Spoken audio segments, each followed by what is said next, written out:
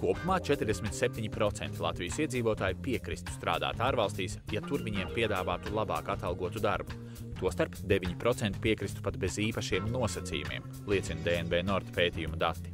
Reģions, no kura vismazāk iedzīvotāji grib doties prom, ir Vidzeme.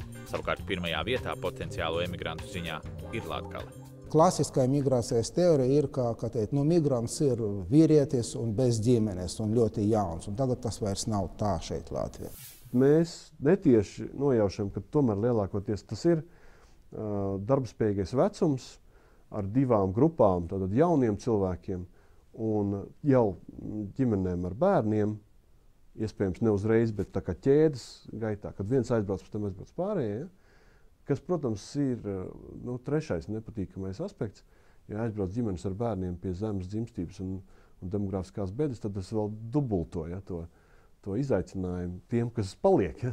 No Anglijas dati, kur ir nu, tikai dzimums un vēsums. Un par dzimumu es varu pateikt, ka 75% ir līdz 35 gadiem.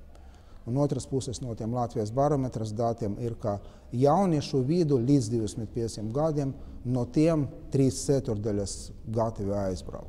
Kāpēc cilvēki brauc prom no Latvijas? Tāpēc, ka tu darbu nevar atrast.